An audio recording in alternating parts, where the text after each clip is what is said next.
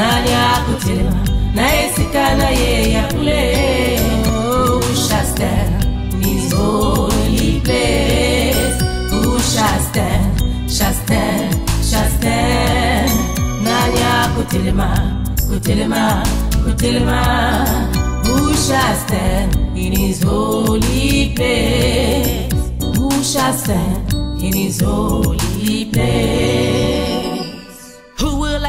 My brothers and sisters, welcome to the Mantle of Fire International Ministries. This is your humble servant, J'Muadi, and I am glad to be here with you.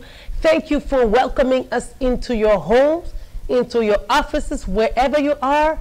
Know that God loves you and He has a plan for your life. And here we are, the Elijah generation, firebrand and spiritual governors here to let you know that God has a plan for your life. And we want at this ministry to teach you how to war in prayer. We want to make you prayer warriors, people who know how to stand and to receive through prayer, to act the acts of God and to be a blessed child of God, to be happier you know, in your homes, happier in your businesses, happier in your relationships with one another.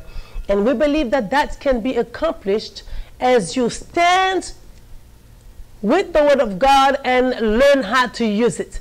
We believe that prayer is not just words, but prayer is a weapon. Prayer is a tool. Prayer is a strategy. It is something that God has given us to be able to live a good life. People ask the question, why is there so much suffering in the world and God is not doing anything? But God has already done everything because He has given you a tool. He has given you a weapon. He has given you everything you need to be able to live a good life right here on the earth.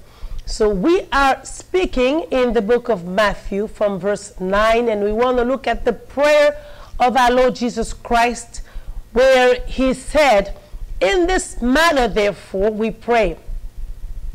He was teaching his disciples, and he told them, We are praying this way Our Father in heaven, hallowed be your name.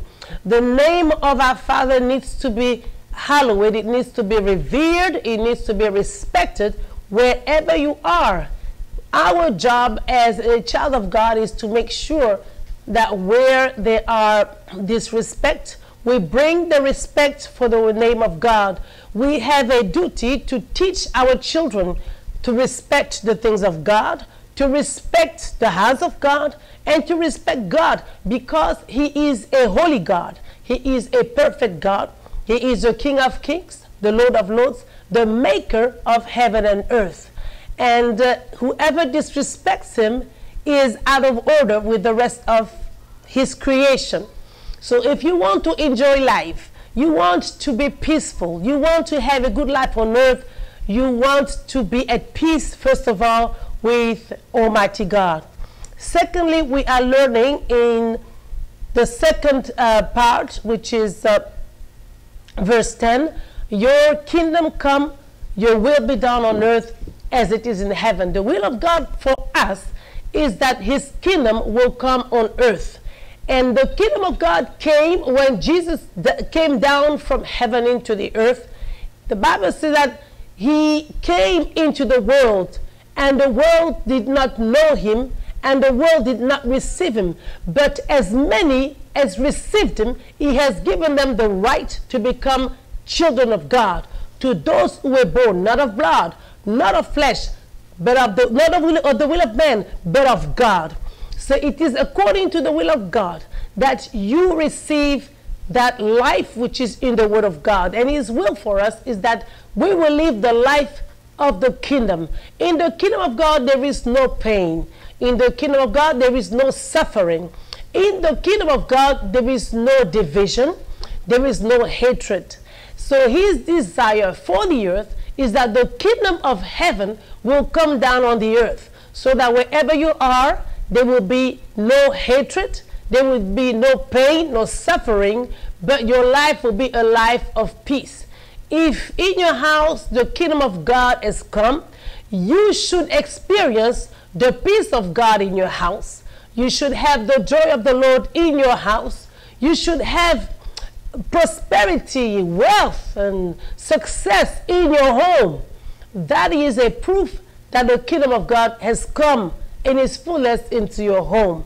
It is not just about having a lot of money, because many people with money do not have peace.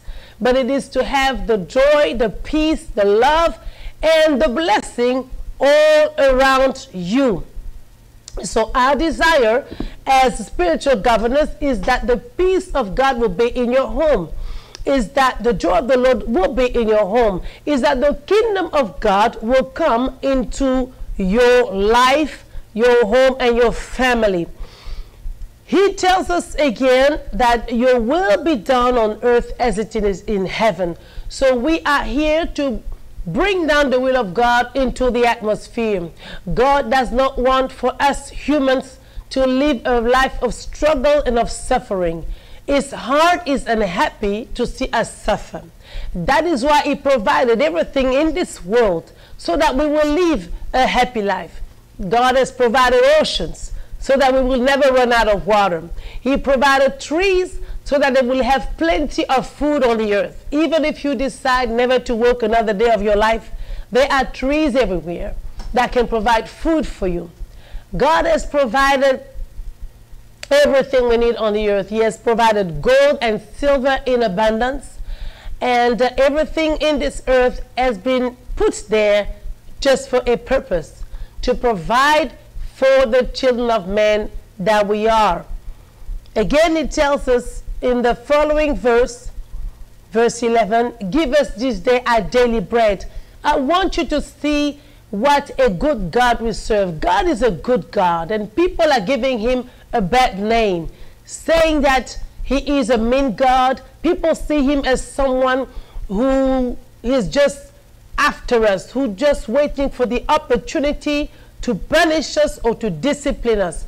But that is not the heart of God. God is really a good God and a loving Father. That is why He provides daily food for His children.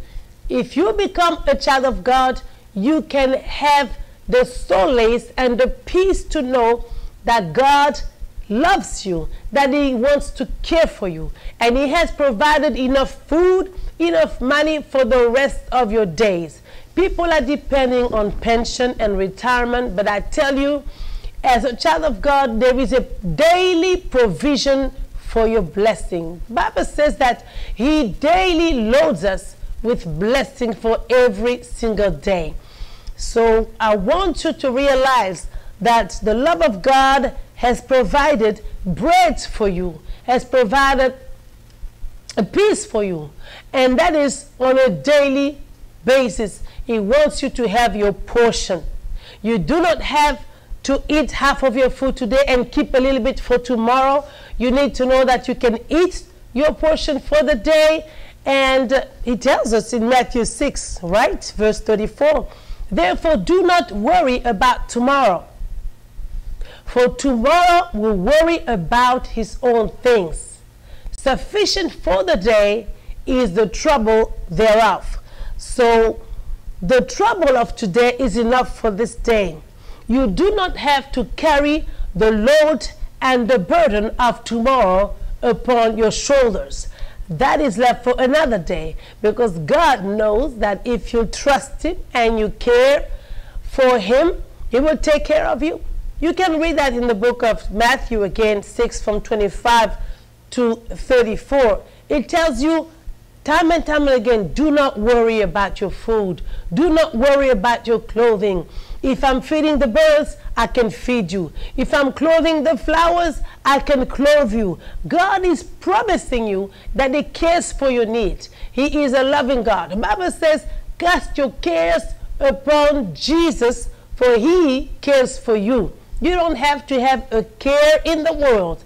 All you need is, is to believe and to trust Him. If you trust Him and you change your mind frame, starting to believe that He cares for me, and all you have to have is words of thanks saying, Lord, I thank you. I know you love me. I believe you love me. Some people believe that God loves other people, but they don't love them. You need to know that love God loves you. As you are watching, know that God loves you who's watching right now. He doesn't just love your neighbor.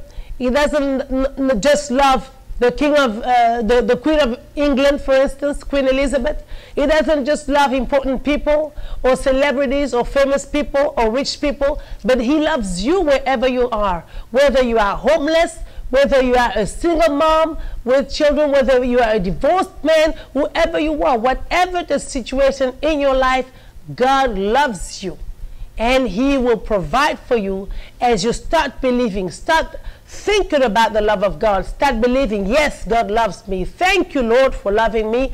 Thank you, Lord, for, for caring for me, for taking care of me, for taking care of my daily bread. If you start believing that, confessing that, and speaking that over your lives, you will start seeing things will improve around you. They will call you for a job interview that you did not even ask. Uh, you will see your family coming back together. There will be reconciliation.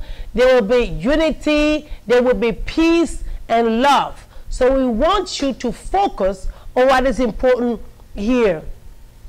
And God made a provision. When the Lord Jesus came, He made a provision in that prayer so that everyone will know that God wants to provide for your needs and He does not want to let you stranded. Believe in His word and start speaking that word over your life, and you will see those things happening. Hallelujah. I want to speak about verse 12 that says, Forgive us our debts, even as we forgive our debtors. God has given us a strict command that we are not permitted to keep malice in our hearts, to keep bitterness in our hearts, or to have a spirit of revenge of unforgiveness towards anybody, no matter what has been done to you. I have been downtrodden, I have been ridiculed, I have been humiliated, I have been embarrassed. But you know what? I have decided in my heart that no matter what somebody has done to me, to ridicule me, to embarrass me, they don't know what they're doing. I will keep on loving them because it is a decision no matter what somebody has done to you, you can make a decision and say, You will not control my life. You will not control my heart. I will still love you irrespective. Love your enemies. Love those who hate you. Love those who persecute you. And your prayer will carry more power. That is a secret of the power of prayer. You will see that two men of God can pray but the one who has unforgiveness, the prayer might not work.